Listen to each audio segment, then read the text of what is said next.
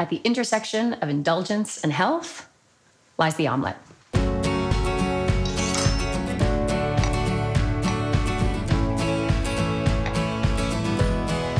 Some things just go well together. That's mushrooms and onions for me.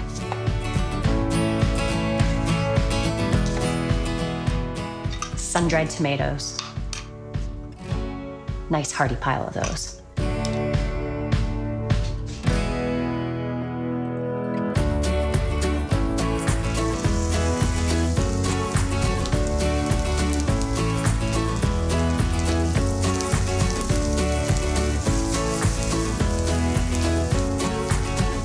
Little bit of spinach.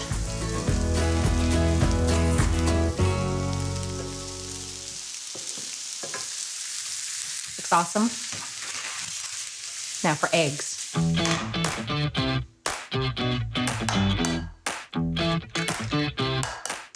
How hungry am I this morning? Might be a three egg day. Want to make sure my eggs are well blended and just a little frothy. Yeah, that's it.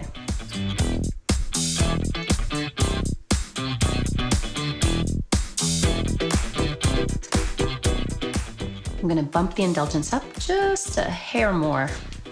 Gruyere. I love fondue.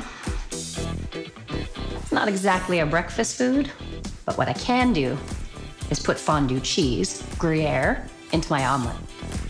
I always try and find a way to work the treat into every meal.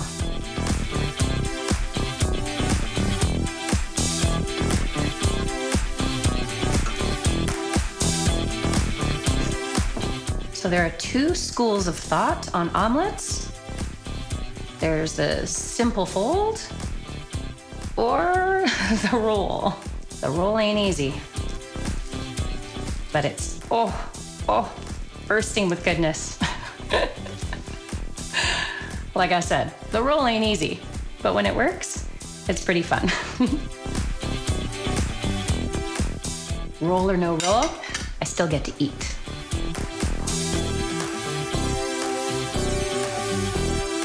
So gentle. I love omelets. Creamy, rich.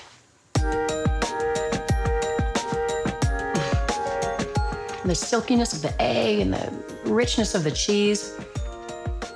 And then the sun dried tomato just gives it a little extra something. Mm.